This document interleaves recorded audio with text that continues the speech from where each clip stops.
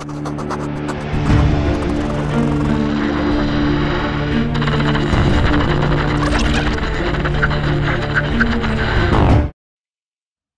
вами вечерний политпросвет.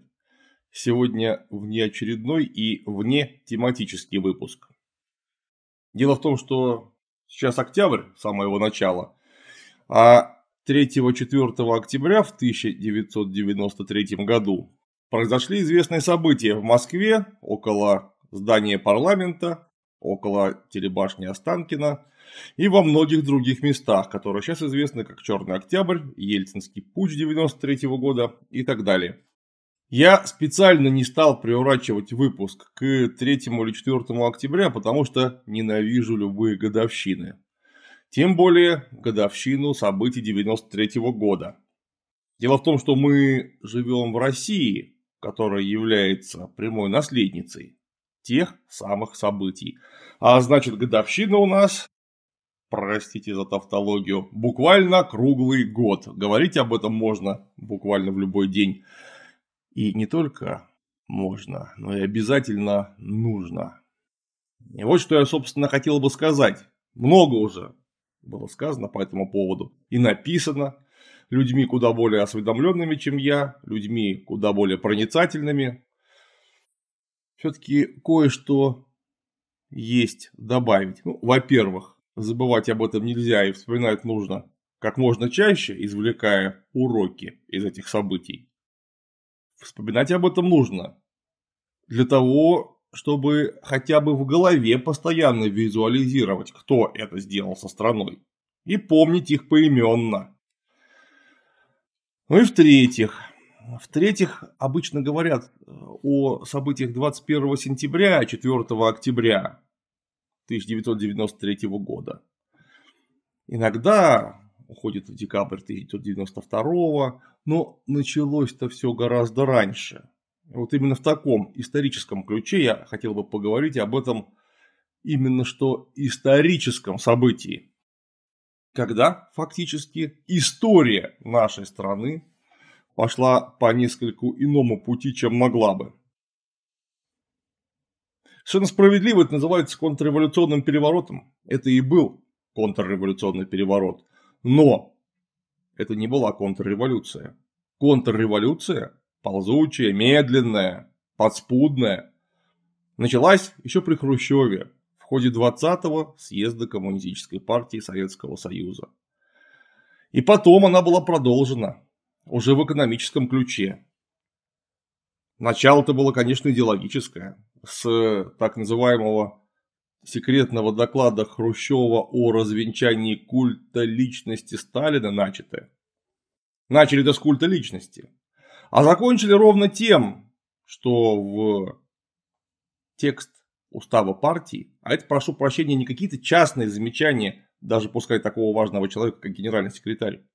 В текст устава партии было прямо внесено то, что у нас больше нет никакой классовой борьбы, что у нас построено общенародное государство.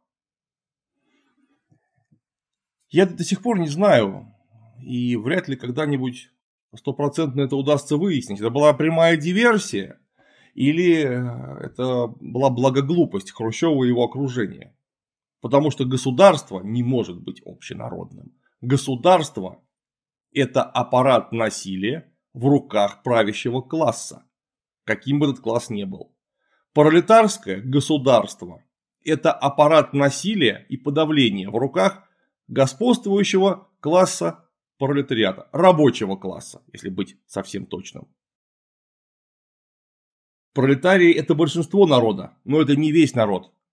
Как только мы говорим народное государство, мы говорим что-то вроде квадратный круг или иной оксюморон, который вы сможете придумать, это будет равно сильно.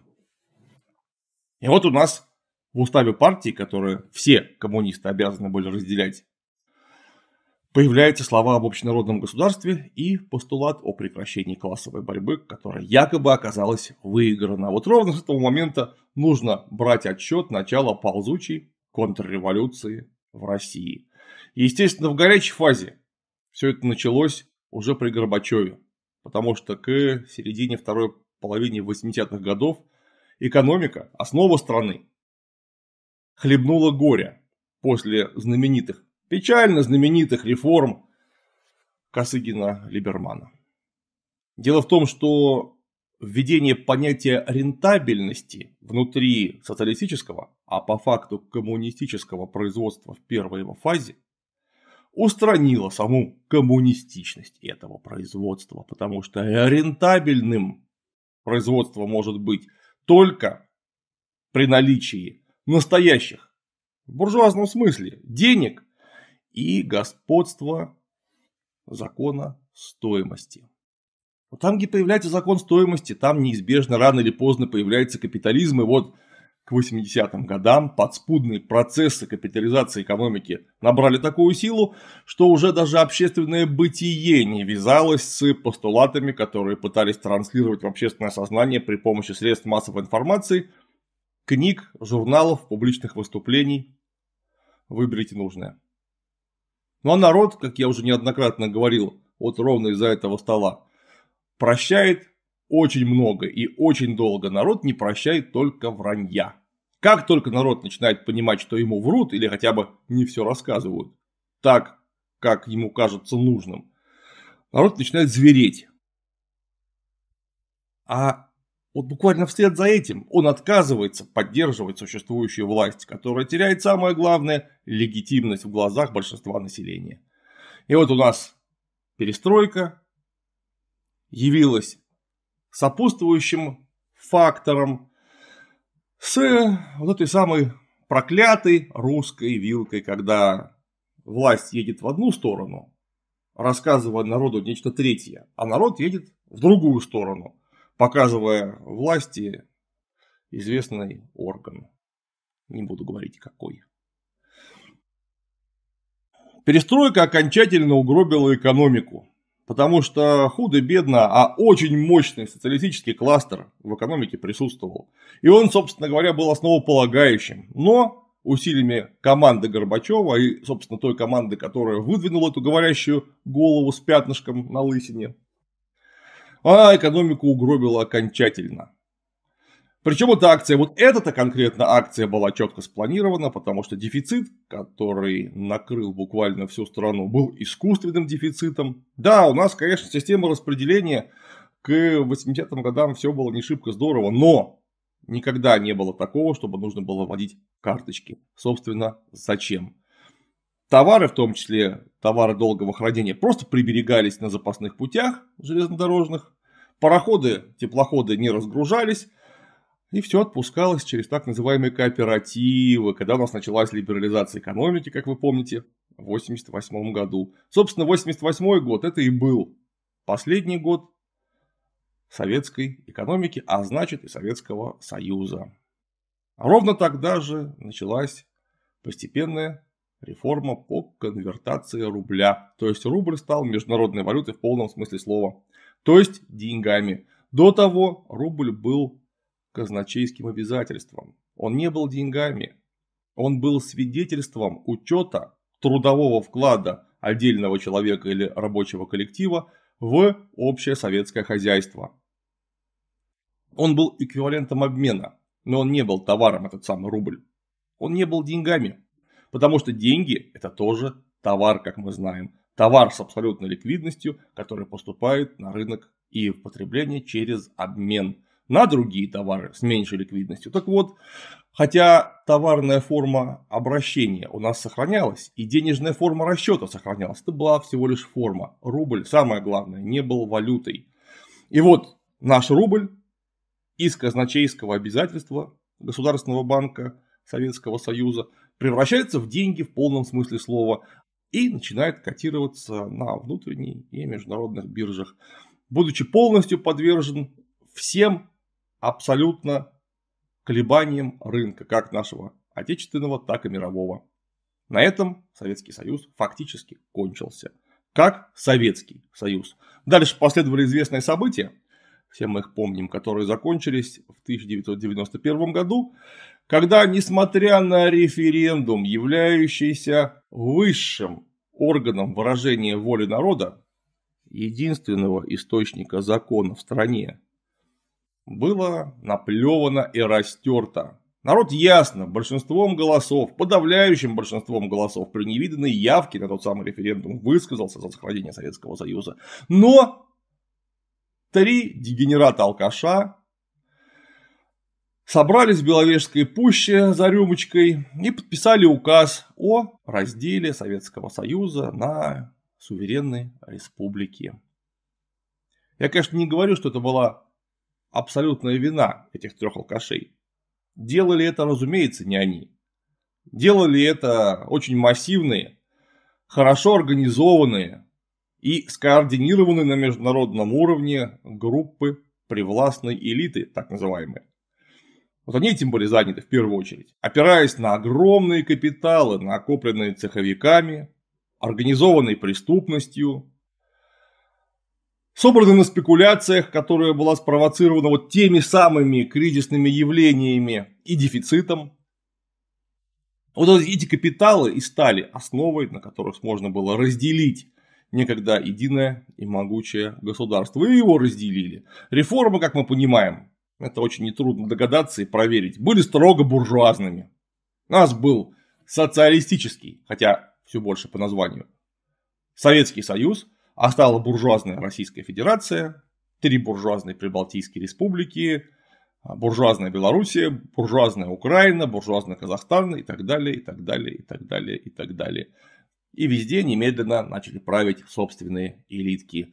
И все эти элитки вступили друг с другом в непримиримый конфликт на тему того, кто же конкретно будет руководить, а значит и доить собственные страны мы сейчас про Российскую Федерацию. Не беря во внимание пока чудовищные события, которые произошли в наших недавно братских республиках. Пока поговорим про собственные чудовищные события. Вот в 91 году, вот тогда, когда Ельцин забрался на танк, а совершенно лишившаяся ума толпа скандировала «С нами Ельцин и Кобец! Хунти настает. Вот именно тогда события 93 -го года стали неизбежностью. Потому что кто будет делить страну? Желающих было очень много. Вместе с Ельцином стояли будущие герои обороны Белого дома Руслан Имранович Хасбулатов, генерал Александр Рудской, многие-многие другие, они все были сторонниками разделения Советского Союза, проведения либеральных реформ, капитализации экономики и демократизации внутренней политики. Ну а также встраивание в нормальный международный рынок, в нормальное международное сообщество, к дружбе с нашими партнерами по опасному международному процессу. Я, конечно, в первую очередь блок НАТО имею в виду. Вот все они были не против. Против были только конкретные люди, э, которые думали, кто же, собственно, будет руководить вот таким жирным куском, который остался нам от Советского Союза. А кусок-то был не просто жирный, вы вдумайтесь, это вторая по мощности экономика в мире после Соединенных Штатов. Богатства накопленные невероятны, мы их до сих пор прожрать и растратить окончательно не можем. Запас прочности чудовищный и гигантское население, которое поголовно образовано и является неисчерпаемым источником рабочего ресурса. Ну, как тогда казалось неисчерпаемым. И вот за это стоило вступить в схватку. Дальше у нас образовались две ветви власти. Дело в том, что Конституция 1978 года с поправками 91-92 года, это все-таки была еще во многом советская конституция, которая постулировала то, что высшим органом власти в стране, высшим выразителем воли народа является Верховный Совет. Совет народных депутатов. И вот у нас остался Верховный Совет по названию, конечно. В реальности это уже с президентства Горбачева, нашего первого и последнего президента Советского Союза. Никакой это был не Верховный Совет, это был обычный буржуазный парламент с кучей конкурирующих внутри себя партий. И вот этот парламент оказался самым главным органом власти в стране с четким обозначением этого Конституции. Ну и одновременно вслед за Горбачевым был избран президент Ельцин Борис Николаевич, как раз один из трех алкоголиков, которые подписали знаковые бумаги в Беловежской пуще. Этот алкоголик многим представляется каким-то очень недужным, тупым, бухающим дедушкой с подступающей деменцией, а может уже и подступившей. Я предостерегу вас от э, таких скоропалительных выводов. Они к политикам такого уровня очень редко применимы, даже если на лице явные следы алкогольного страдания. Дело в том, что Ельцин это был очень умный, крайне жестокий и жесткий человек. И человек, мастерски владеющий подковерной интригой. Да, он был дерьмовым руководителем страны, в этом нет никаких сомнений.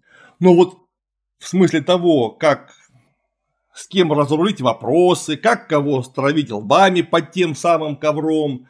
Вот в этом он разбирался, как очень мало кто в нашей стране. Поверьте мне, я проанализировал массу источников по этому поводу.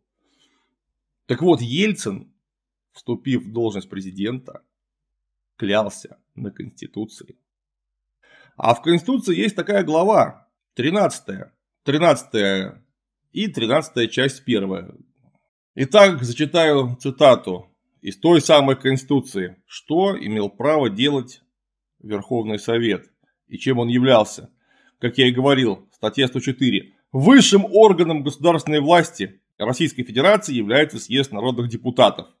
Съезд народных депутатов правомочен принять к своему рассмотрению и решить любой вопрос, отнесенный к ведению Российской Федерации. Ну и далее идет утверждение генерального прокурора, председателя Верховного суда, председателя Высшего арбитражного суда, Конституционного суда Российской Федерации и пункт 13 принятие решения об отрешении от должности президента Российской Федерации.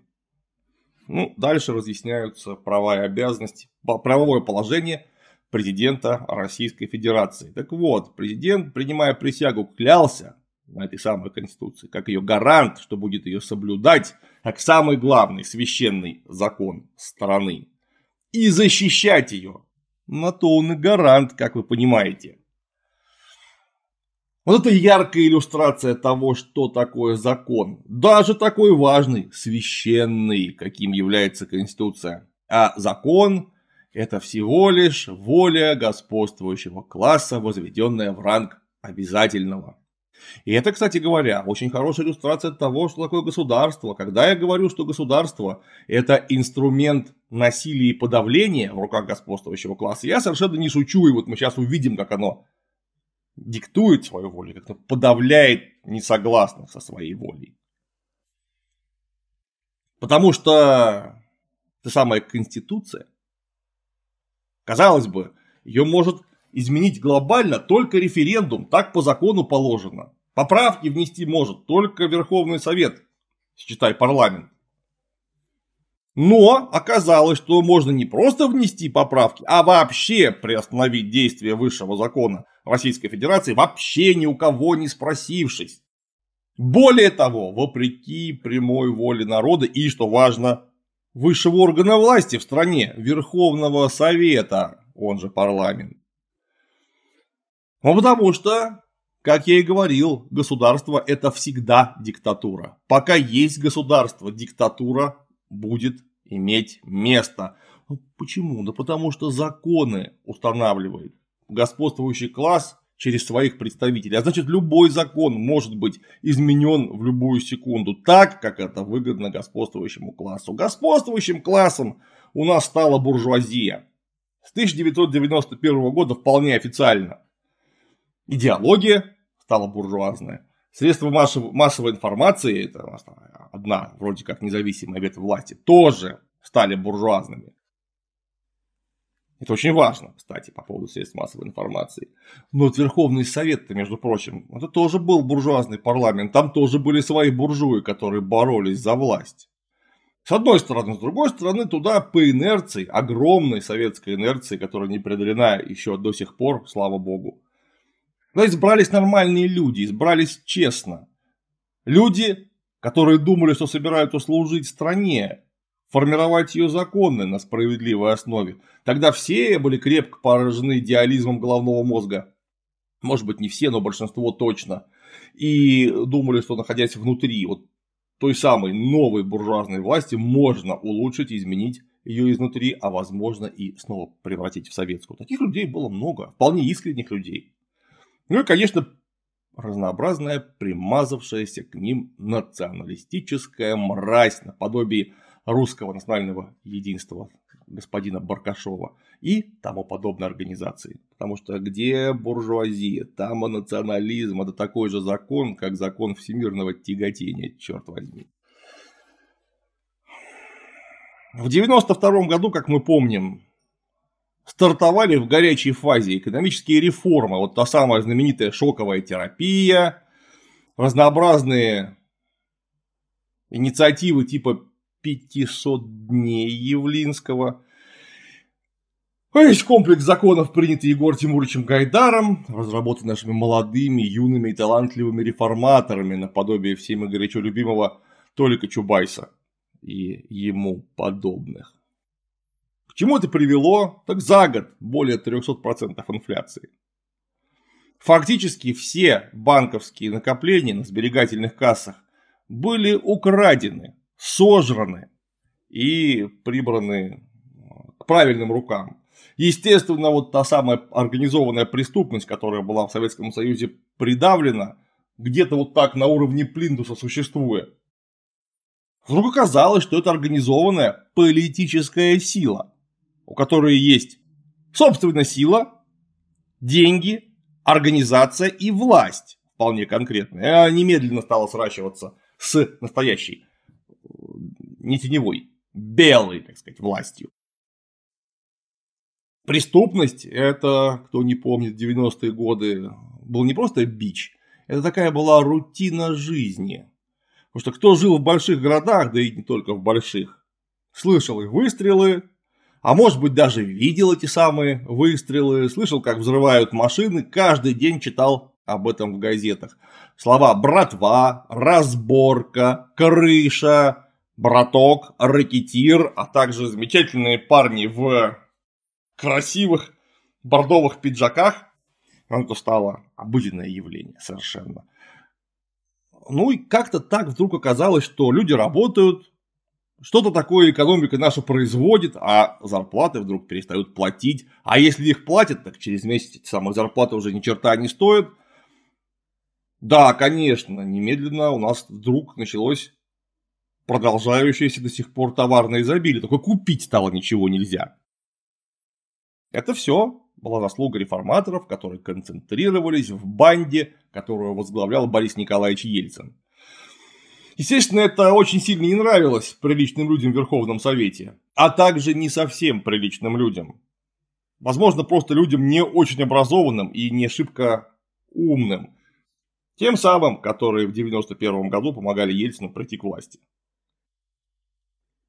И думаю, что настоящим буржуазным мерзавцам, которые хотели на горбу того самого Верховного Совета прийти к власти вместо Ельцина. Но за Ельцином стояли очень конкретные силы. Это были те самые силы, которые были непосредственно заинтересованы в переделе собственности бывшего Советского Союза. И они деньгами Ельцина кормили очень сильно. Кормили они его международными связями. Потому что все дальнейшее это совсем далеко не только наша внутренняя заслуга, это еще и очень горячее участие иностранных спецслужб, напрямую иностранных правительств, иммигрантских, фашистских организаций наподобие Народно-трудового союза, теснейшим образом аффилированных с Центральным разведывательным управлением и э, кабинетом Джеймса Бонда в Англии. А также СМИ. Большие деньги к тому времени за два года успели купить, если не все, то уж точно 90% основных СМИ, газет и уж, наверное, все телевидение. А заодно и радио. А заодно и наших замечательных представителей творческой интеллигенции, всеми любимых, которые постоянно светились в этих самых СМИ. Оказалось вдруг, вдруг что ты хороший э, клоун и кривляка, а значит, несомненно, разбираешься в политике и экономике. Ну точно, просто потому что тебя люди слушают. И вот в 92 году начинается жестокое противостояние Верховного Совета и президента, точнее банды, которая выдвинула наверх президента нашего дорогого Бориса Николаевича которому теперь он музеи за народные деньги строит.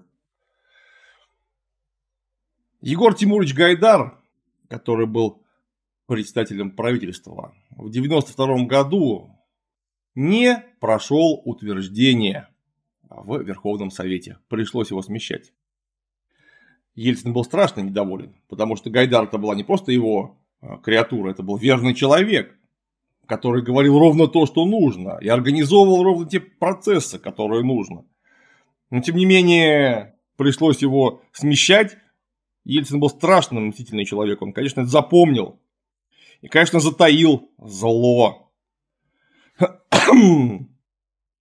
Это случилось 9 декабря, после открытия съезда народных депутатов номер 7 Начинаются тогда же в декабре переговоры между президентом Ельцином и председателем Верховного Совета Русланом Рановичем Хасбулатовым. Представляете, до чего дошло? Переговоры между двумя ветвями власти, законодательной и исполнительной. Это говорило ровно об одном, что все скоро полыхнет. Мне в 92 году было 15 лет, я был уже достаточно взрослый, чтобы очень хорошо помнить все, что происходило тогда. Ну а в марте 93 -го года, если быть точным, 12 марта открывается восьмой съезд народных депутатов.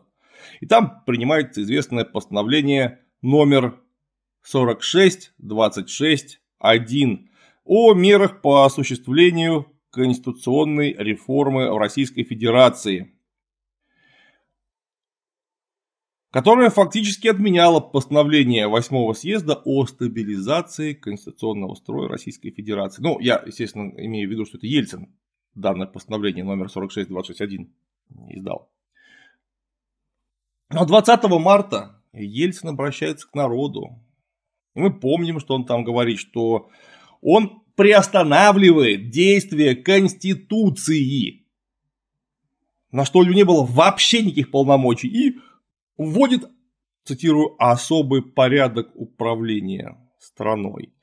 Кстати, это была очень тонкая игра, потому что Ельцин вот так вот по телевизору высказался, а никакого указа не издал фактически.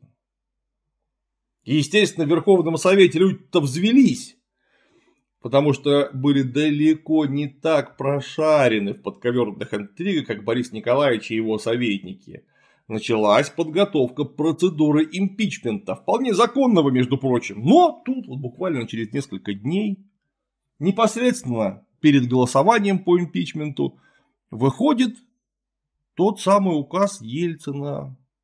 Только он как-то очень сильно отредактирован, и в нем вовсе нету таких грубых нарушений Конституции, какие были постулированы в телевизионном обращении. То есть даже не очень понятно, а что это сейчас было. Это теперь, спустя столько лет демократии, мы к такому привыкли. Когда гарант или еще какое-нибудь важное должностное лицо говорит одно, потом выходит указ со совсем другим содержанием, а исполняют его совершенно третьим образом. Ну тогда это было первый раз. Никто просто не мог понять, что происходит. И голосование по импичменту фактически сорвалось. Ельцин остался президентом Российской Федерации, вполне законным, просто потому что ну, так получилось. Не, э, положенных для импичмента двух третей голосов за набрать не вышло. Из-за вовремя вброшенного этого самого текста указа. Ну, а 25 апреля прошел референдум. Кто постарше хорошо помнит ту самую знаменитую формулу ответов на 4 вопроса. Да-да, нет, да. Первый вопрос это доверяете ли вы президенту Российской Федерации. Второй, одобряете ли вы социально-экономическую политику, осуществляемую президентом Российской Федерации и правительством. Третье. Считаете ли вы необходимым проведение досрочных выборов президента Российской Федерации и считаете ли вы необходимым проведение досрочных выборов народных депутатов Российской Федерации? Ну, понятно. Первые два – да, третье – нет. То есть досрочные выборы президента не нужны. И четвертое – да, досрочные выборы депутатов нужны обязательно. Ну, тут так получилось, что проголосовало всего на этом референдуме всего 64% избирателей. Все они прошли с очень небольшим перевесом по той самой формуле «да-да», «нет», «да». И это, конечно, был серьезный мяч на стороне поля президента.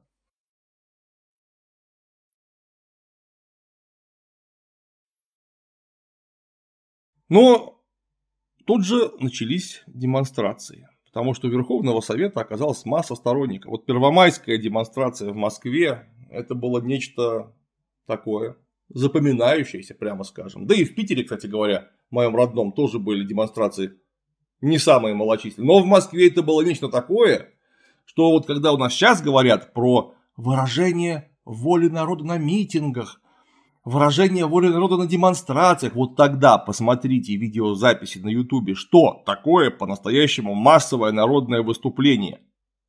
Когда в Москве по некоторым улицам не то что проехать, пройти было нельзя.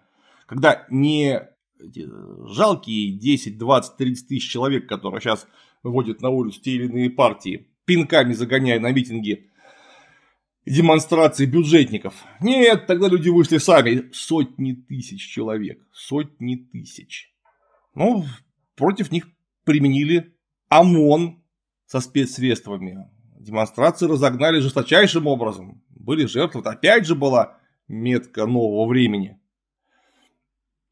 После этого Верховный Совет предложил отстранить от должности министра внутренних дел, подонка Ерина. Ельцин отказался. И 20 мая заявляет Ельцин о созыве, или как правильно по-русски, созыве, а вот по-ихнему, правильно, созыве, о созыве Конституционного совещания.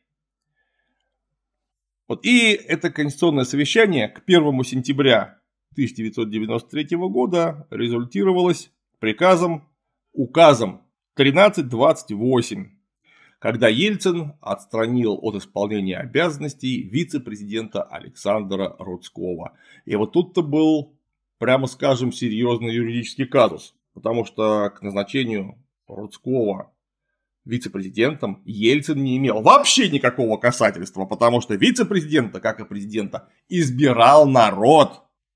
Соответственно, убрать вице-президента мог тоже только народ. Ну или при помощи отставки его самого. Например, по истечении срока полномочий.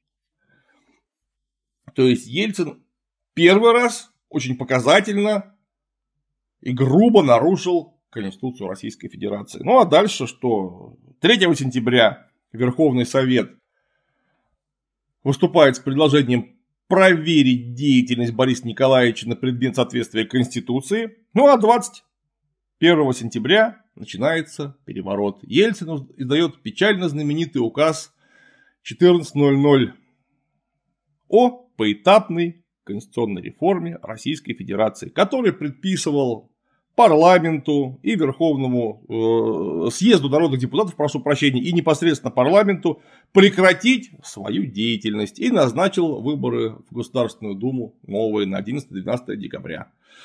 Дело в том, что вот это было уже не просто поправление Конституции, это была фактически ее отмена. То есть правящий класс, буржуазии нам первый раз на практике показал, как нужно обращаться с законами. И что нужно делать с законами, если в конкретный момент они тебе не очень нравятся. Или какая-то их часть тебе не очень нравится, а их меняют, даже если это Конституция. Что Ельцин чувствовал за собой силу. В это время все СМИ из каждого утюга, вот буквально начиная с подготовки к тому самому референдуму знаменитому, с этой да-да, нет дакой, вот все СМИ, газеты, радио, телевидение, все наши эти слуги народа и голос народа принялись завывать буквально, что это что ж такое-то творится. Это ж коммунисты сейчас к власти опять придут. Потому что в Верховном Совете основная масса была. Это были коммунисты, аграрии, члены партии Родина, и, э, Отечество, прошу прощения, и так далее, и так далее, и так далее. То есть люди совершенно негативно относящиеся к Ельцину и его клике. О, коммунисты у власти же кошмар. И вот эта вот накрутка населения. Это первая настоящая, массированная, спланированная информационная атака. Ну, конечно, не так, как сейчас. Сейчас смотрится немножко детски. Но, тем не менее, это первый раз было. И первый раз это было очень круто. Вот посмотрите, как на референдуме все проголосовали хором. Именно благодаря действиям СМИ. Ну, конечно, у Ельцина была поддержка на международном уровне. Конечно, у Ельцина была поддержка новообразовавшихся денежных мешков. Поэтому он плевать хотел на Верховный Совет и на Конституцию. Это был его бульдог, которого спустили с цепи, и он вцепился. Сразу после указа 1400 или 1400, называйте как угодно, Ельцин фактически перестал быть президентом Российской Федерации. Но, повторюсь, и на это он тоже наплевал, потому что у него в руках находились деньги, возможности и конкретные рычаги приведения своей воли в исполнение. Хотя, конечно, все тогда вот буквально вот было на лезвии бритвы. Что-то могло пойти не так. Такое бывает в истории. Вот в 91 году нам не хватило ровно одного для победы ГКЧП. И, возможно, возврата Советского Союза на другое, более счастливое русло. Нам не хватило молодого корсиканца, который бы сказал «Фас, я за все отвечаю», как это было в свое время во Франции в начале 19 века, когда молодой корсиканец таки нашелся. После чего войска, ну, это такая сила, с которой не могут поспорить ни буржуи, ни продажные полиции, никто. Такого корсиканца у нас не оказалось. Ну и такого же корсиканца у нас, к сожалению, не оказалось и в 93 году. Хотя, за кого бы выступал этот корсиканец? Вы поймите самое главное. Ельцин и его клика – это были выразители самых законченных мразей, выразителями воли самых законченных мразей, подонков, предателей и, не боюсь этого слова, опосредованных убийц – к сожалению, непосредственно в убийстве я их обвинить не могу, потому что это может сделать только суд. Но с другой стороны, между прочим, тоже были сторонники буржуазных реформ. Тоже были какие-то капиталы, деньги, собственные интересы. Я вас уверяю, это сам Верховный Совет, он не выступал в интересах народа, он выступал в своих интересах. Все было закончено, большому счету, в 91 году, в 93 году у нас ветви власти впервые сцепились друг с другом. Ну и так вышло, что на стороне законной власти, если уж мы сейчас говорим как китайские легисты о торжестве именно писанного закона до последней его буквы, вот на стороне законной власти оказалась масса народу. Невероятная масса. Люди поехали в Москву вот от Южно-Сахалинска до Калининграда. Это было настоящее паломничество с целью защитить Верховный Совет. А уже нужно было защищать, потому что Ельцин сказал, что Верховный Совет распущен, Верховный Совет сказал, что нет, мы продолжаем работать. Но, так как рычаги влияния в основном находились в руках Ельцина, он отключил во всем этом огромном здании с тысячами людей газ, свет, воду и канализацию. Вот так нужно поступать с законной властью. Если будут плохо себя вести, отключим газ, что и было сделано. Все-таки октябрь месяц подступал, было совсем не жарко. И даже медицинской помощи в Верховном Совете люди были лишены, потому что все это гигантское здание, всю гигантскую территорию обнесли спиралью Бруно, так называемый ягозой в просторечии, и не пропускали туда скорой помощи. Начали люди болеть и натурально умирать там в блокаде. Ну а 3 октября, как мы помним, вот разразился тот самый кризис, который потом назовут Черным октябрем. Потому что с одной стороны Ельцин пошел на крайние меры, с другой стороны Рудской и Хасбулатов видят не просто массовую поддержку народа. Десятки и сотни тысяч человек одновременно поддерживали законную власть. И все регионы, между прочим, отказались признавать Ельцина президентом. То есть страна-то вроде за нас. Вроде бы за нас. Ну и тогда, как мы помним, Рудской, чтобы прорвать ту самую информационную блокаду, призывает захватить Останкинскую телебашню, чтобы начать собственное вещание. И вот это была ловушка, в которую Рудской, боевой генерал, герой войны, ну, правда, насчет его героизма есть разные мнения, но я на войне никогда не был, поэтому не могу высказывать своих суждений на эту тему. Так вот, боевой генерал и хитрый политик – это немного разные квалификации, как вы понимаете. Это была ловушка, в которую Рудской и сам попался, и людей тут даже запихнул, потому что Останкинскую телебашню уже защищал отряд «Витязь». И продажные к тому времени уже некоторые войска, которые людей, да, которые на волне эйфории допустили э, некие незаконные хулиганского типа действия, а именно задом грузовика вышибли в здании АЗС-3 стеклянные двери, вот по ним должен был быть открыт огонь. И вот один из бойцов, офицеров Витязя, который оборонял тот самый вход, кидает светошумовую гранату, а один из бойцов этого самого офицера, приняв светошумовую гранату за взрыв боевой гранаты или, возможно, за какой-то очень мощный выстрел, дергает пальчиком и убивает своего служивца. Friendly fire, как говорят. Ну и все, взрыв, выстрел, убитый. Витязь принялся стрелять. А потом туда же приехали БТРы в количестве 24 штук, которые принялись полосовать безоружную толпу из пулеметов Владимирова калибром 14,5 мм и неплохо так поддавая из пулеметов Калашникова. Всего лишь 7,62, но тоже вполне убедительно десятки погибших. Это прямо вот в центре столицы. В центре не просто столицы, а одного из самых больших городов мира. Вот того самого города, где буквально совсем недавно находился нерв, управлявший так или иначе половиной земного шара. Вот там стрельба, и там льется кровь. Ну а утречком, в 7 утра, ельцинские подонки уже вынесли ту самую знаменитую коробку из-под ксерокса, набитую баксами, уже были куплены 10 танковых экипажей, укомплектованных полностью офицерами из э, Таманской дивизии. Прошу прощения, из Кантемировской дивизии. Короче говоря, 10 тех самых танков, которые выехали к Белому дому и принялись лупить туда из 125 миллиметровых пушек. Помогали им, кстати, все те же самые два десятка БТРов, которые жару из пулеметов поддавали.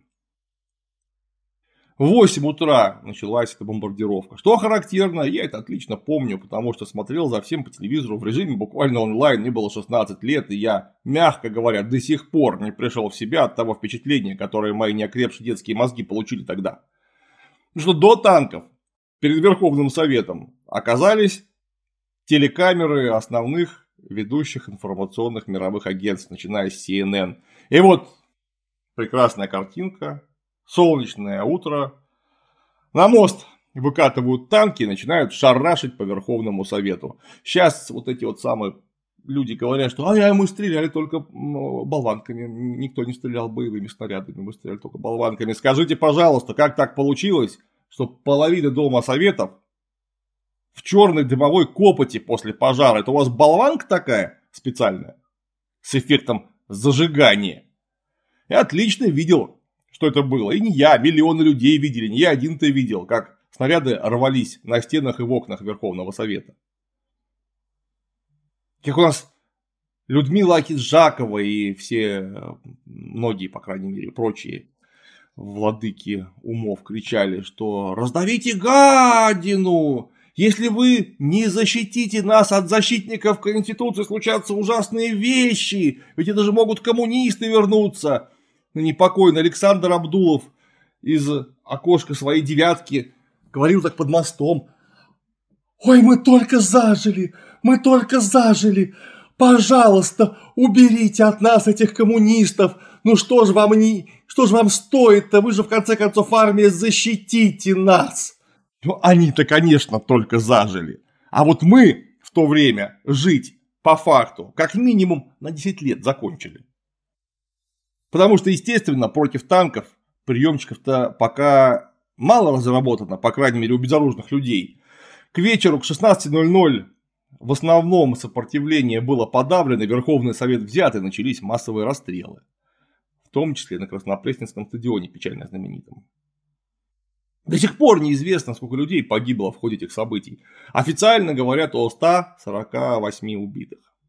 Что тоже, кстати говоря, число, прямо скажем, такое, которое заставляет харкнуть буквально в глаза каждому, кто скажет, что победа Ельцина была достигнута в результате хирургически точной операции ценой неимоверно малых жертв.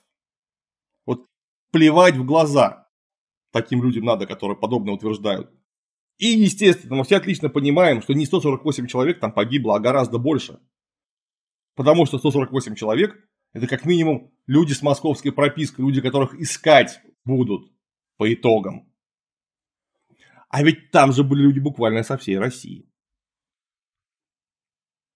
По максимальным оценкам, я, кстати говоря, не склонен их разделять, больше 1500 человек погибло в это время. Ну, по более-менее реалистичным, между тремя сотнями и пятью сотнями. Точно мы не узнаем до тех пор, пока не будут рассекречены документы. А они засекречены. Потому что государственный переворот, осуществившийся тогда, именно он стал прологом новой российской демократии. Вы представляете, это был настоящий фашистский переворот.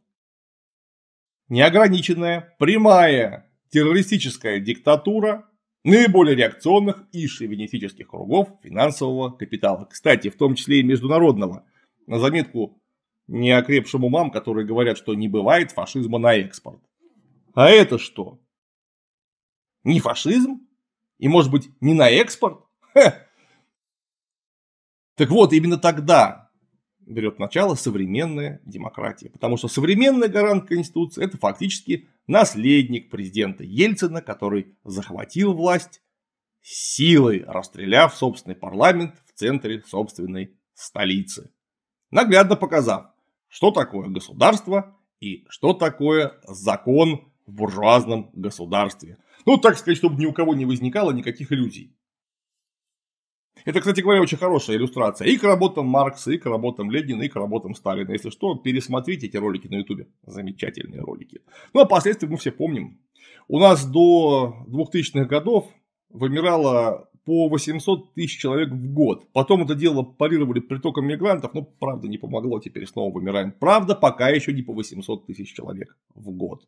Да, плюс теперь Крым наш, там все-таки 4 миллиона человек одновременно как-то к нам пришло. Продали 500 тонн оружейного урана, который нарабатывала советская ядерная промышленность. Четверть всего оружейного урана, который был наработан человечеством за всю историю. Продали флот, развалили спецслужбы, поделили, наконец, всю экономику при помощи знаменитых залоговых аукционов и зажили.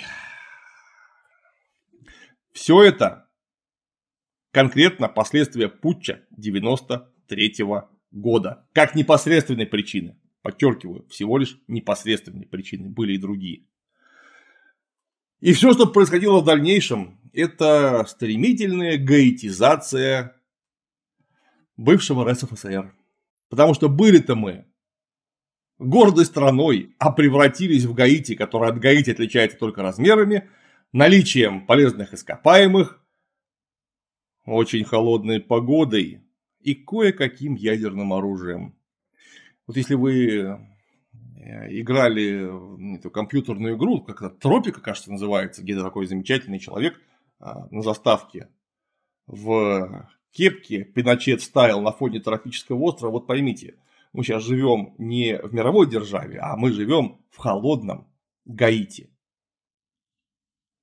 тогда, в 93 году, мы проиграли не народную так называемую власть, тогда уже и речи не было ни о какой народной власти. Мы тогда проиграли всего лишь один из двух путей развития капитализма. Выбрали мы вот такой путь, какой пожинаем теперь. Это был в том числе и наш выбор.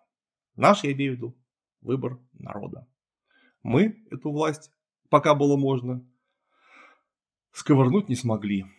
Теперь придется действовать долго, мучительно, через образование, самообразование, создание низовой инициативы, образование советов. На сегодня все. И помните, если вы не интересуетесь политикой, политика рано или поздно заинтересуется вами.